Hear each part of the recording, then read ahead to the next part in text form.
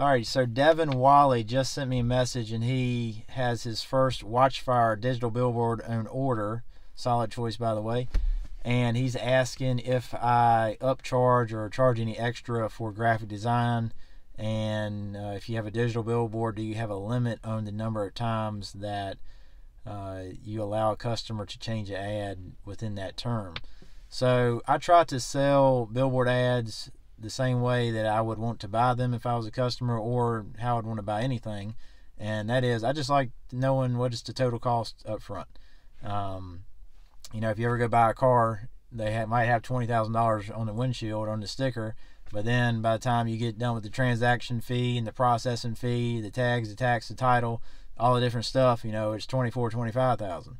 So, um, I'd much rather just know, I'd much rather just know what the total price is up front um, so I just factor all that other stuff into it and give them a flat rate.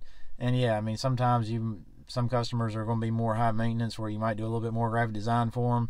Others they might send you the design. You don't have to do anything for them. So I just I think in the end it it all comes out in the wash. But you know, I guess if you're really small and you just have one uh, billboard and you're paying you know graphic designer 50 bucks for to do a design then I could see how you need to be a little bit careful because if you do get a really high maintenance client that wants to do uh, five or six ad designs in a in a month period, and you're only charging maybe 600 bucks for the ad, well, that, that might eat up half of your your gross revenue right there if you're paying for $50 every time you change the ad.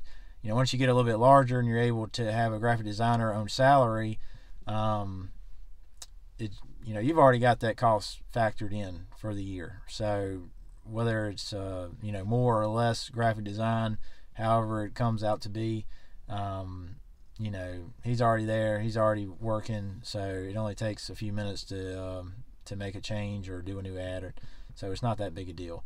But um, that's what I do, and it's been working. Um, I try to. That's one of the biggest advantages of digital billboards is the uh, you know, you, you can change your ad anytime. So I try not to limit that, but uh, try to use it as a selling point.